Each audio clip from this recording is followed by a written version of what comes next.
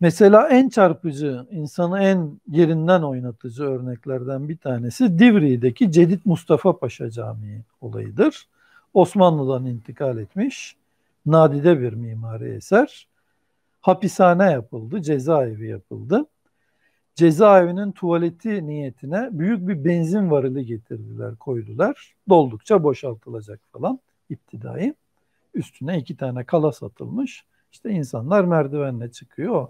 İki kalası oturuyor, işini görüyor aşağıda varile.